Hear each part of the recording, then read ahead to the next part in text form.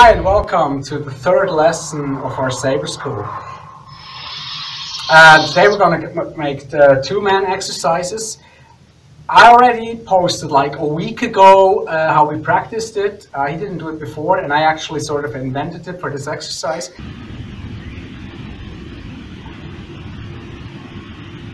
So we, we sort of, uh, you know, enhanced on this and today we're going to do it with the Sabre. Uh, now this is Rashad, you probably have seen him in the trailer. Uh, we're both from Switzerland uh, and I've worked a lot for, for the United States, etc. So uh, my English is probably a little bit passable and he doesn't really speak it, so uh, don't think, oh, why is only this guy speaking? So uh, he's not mute, he actually speaks. And yeah, I would say we start with this exercise. After this, we're going to go over common mistakes with this double exercise that I showed you the last two times, because they always are. So, okay. Blank is now, nothing more to Good.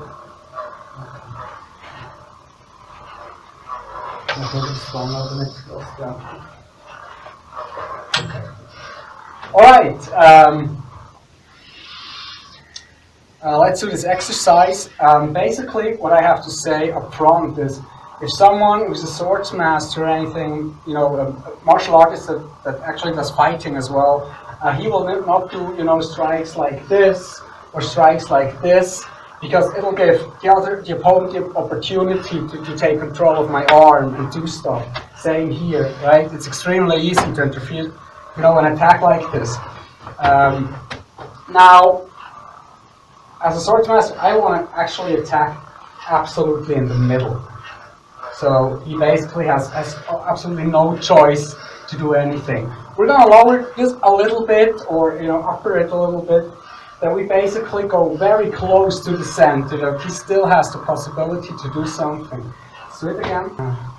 One, and then here he has a vertical line where it will, you know, de-weaponize me. And then he brings an attack like this. He shouldn't go too broad, quite close, you know, because we're still fighting, it's not the choreography only. And I have to react to this one. Now let's have a look at this again in slow motion. I'm coming in, he has to fierce it with his arm, arm to arm. And then, you, you know, he can use this twist. I mean, you could also do it from here, don't get me wrong. But often, you know, people get a better feeling for the mechanics behind it, that it's really just the body that it's not the grip taking or using power. It's really just taking the saber and now moving his body to the side. Exactly. Yeah, exactly. So it's really without any effort. Okay? And then, down. The same time, now he's, he's attacking me like this. Now it's important, it's important that I keep, you know, my guard here. So of course to to to uh, be able to not be hit, and also that I have I control both hands here. Now this one, it's not something like this. You only go to your shoulder, but you move the body. Okay, and here a lot of people grip like this. You need to grip like this because you're more powerful and you're more flexible to change anything. Okay?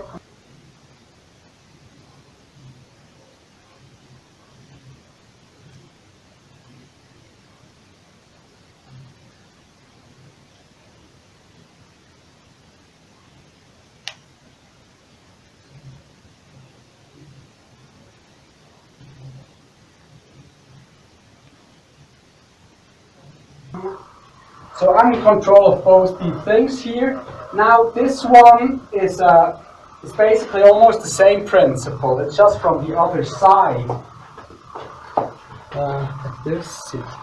So, so you can see, if he's really strong and he doesn't want me, to, he doesn't want me to do this, he can block it. That I can't do this because he's you know. Then you know you have to make a change of plans. That's why I said.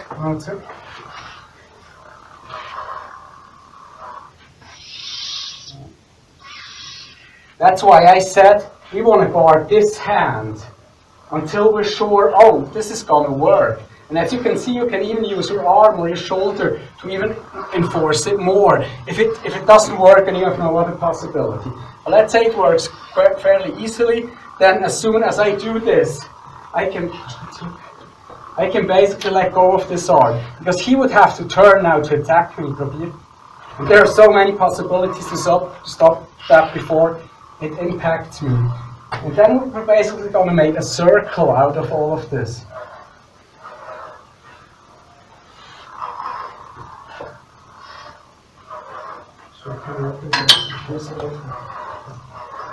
So you can see I'm using the whole body with the steps. So I get away or back in. And there will be variations. Sometimes, you know, you, you will move differently because of because of pressures you get, because of position the opponent will make, or of opportunities, you know, you might see you want to take, etc. So we're going to do it from the other side as well.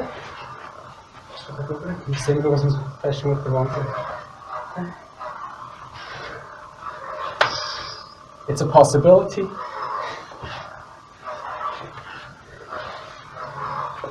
Actually, it's a very good possibility, you know, and you're probably going to do this. But we want to make an exercise that, with time, you can exercise this with several, you know, uh, methods. You can really like, oh, this is an attack. He's taking it, you know, like, oh, it's serious. But then you do it like one, two, three, four. Um, what you can also do, which I think is great in the beginning, is really make it flowing. So there's there's no so there's no so there's no real delay in anything. Just move, move, move. Okay. Uh, now we're just going to have a look at the double-sided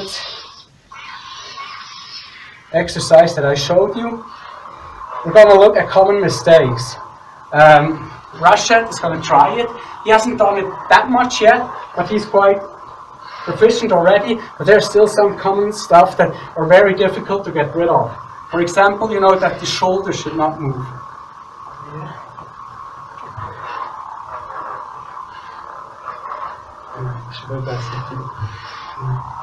And that you make every strike like a single strike and especially the last one. The last one people often go only until here. Really have to go until here. Uh, that was a mistake he made a lot, but now it's it's basically cured. So, yeah. And very important, not moving the body, not the shoulder. In this simple exercise, yeah, we really only want the wrist to move.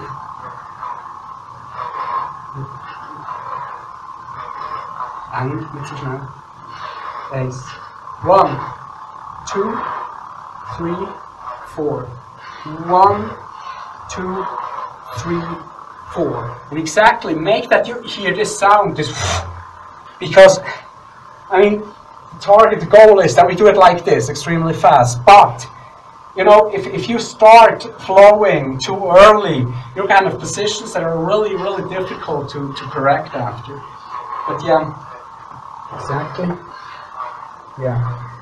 And you see, this is what a lot of people struggle, that you can actually, you know, go that close with the wrist, and I'm actually not as good as I was before.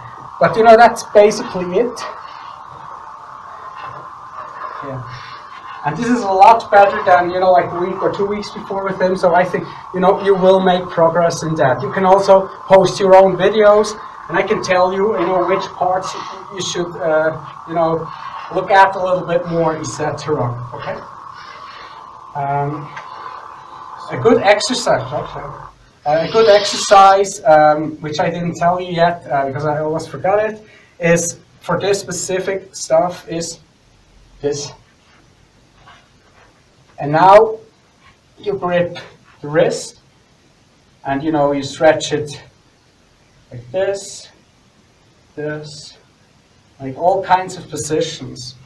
Um, if you don't, same with the other side, if you don't get there yet, go as far as you can and just practice it. I mean, I was able to do stuff you wouldn't believe. I mean, I'm luckily still able to do the grip and, you know, move a little bit. But with that, it really will come. You will be able that you don't have to use anything from the arm. That it's really just, you know, here. Because you see, when I say striking, I mean it's still one, two, three, four. Because you need the feeling of, ah, this is a strike. Because later, it's only the body and, you know, there, there's zero going like this anymore or like this. You all do it just by the wrist. You know, it, it stays like this. And you basically move, move the body to change your height. But the rest is all done by the wrist in the same position, in the most secure one, for real fighting. Okay. Uh, we did the form last time. Uh, those were three moves, and we're going to add another one today. I don't feel that well, as I already said. Uh, I was a little cold last week, and it still hasn't, you know, really gone yet. So we're just going to do one position. Um, right?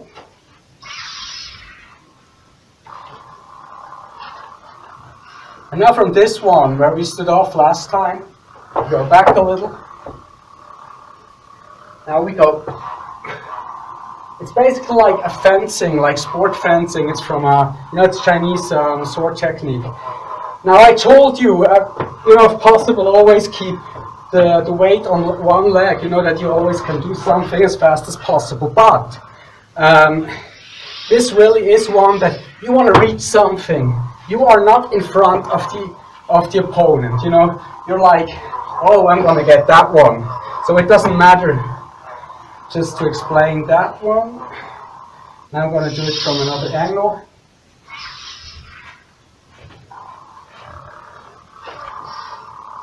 Now the position you have here is not just a grip. You really go like, because you want to overcome something. Huh? So it's like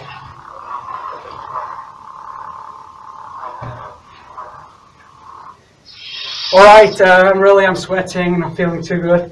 Um, this is lesson three um, for this week. Uh, we're gonna do lesson four next week, as always. And yeah, may the force be with you and wish you well. Bye bye.